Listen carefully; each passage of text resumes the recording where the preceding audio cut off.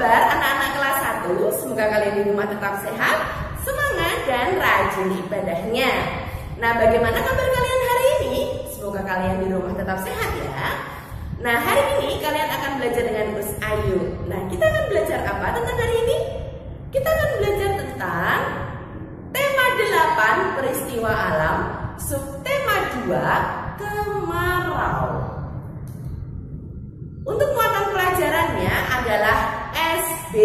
SBDP. Untuk KD-nya 3.3 mengenal gerak anggota tubuh melalui tari.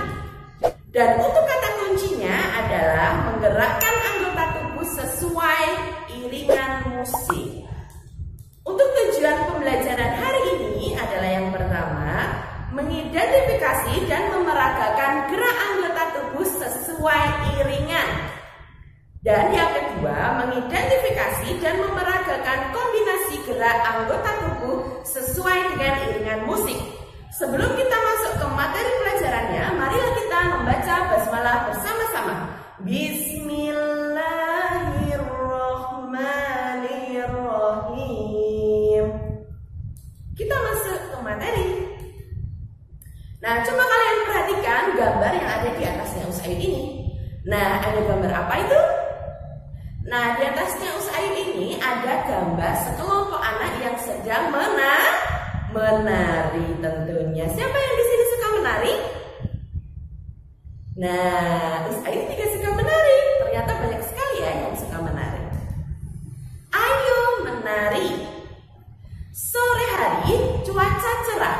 Siti menjemput Lani dan Dayu. Mereka bersama-sama ke balai desa mereka akan berlatih menari bersama. Gerakan badan, tangan, dan kaki. Tangan terenang lalu berayun. Kaki meloncat ke kanan dan ke kiri. Gelengkan kepala lalu putar badan. Gerakan tubuh ikuti hitungan. Nah, ini adalah cara bagaimana kalian untuk menggerakkan anggota tubuh atau menari. Nah, di sini ada gambar, ada Siti dan teman-temannya. Sore hari pada musim kemarau, udara sangat cerah, ya, udara sangat uh, bersih, langit juga cerah. Dayu menjemput Lani dan Siti. Dayu mengajak Lani dan Siti ke balai desa. Mereka akan menari bersama dengan semua teman-temannya. Nah, di sini ada gambar di mana Siti, Lani, dan teman-teman sedang menari. Nah, mereka menggunakan selendang ya, Dek. Selendang itu diikat di apa di pinggang, lalu diikat di depan perut sini. Nah, nanti dipegang untuk kedua tangan untuk diayun-ayunkan. Mari menari tirukan gerakan burung. Menari mengikuti irama lagu. Rentangkan tanganmu bagaikan sayap burung, ayunkan ke atas dan ke bawah.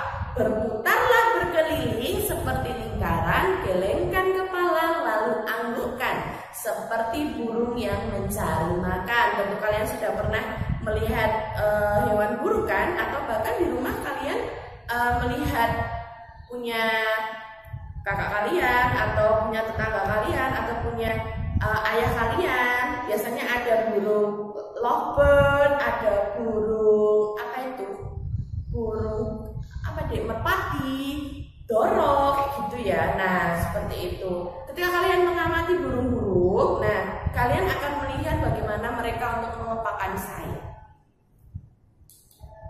Nah, itu tadi adalah bagaimana cara menggerakkan anggota tubuh. Nah, dengan cara apa? Dengan cara. Siapa yang di sini suka menari?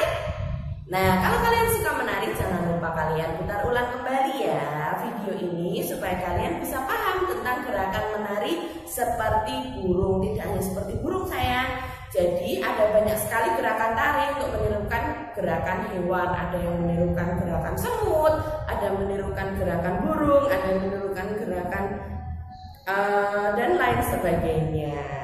Nah, terima kasih itu tadi adalah penjelasan dari Us Ayu. Nah, jangan lupa buku PPD-nya dikerjakan ya.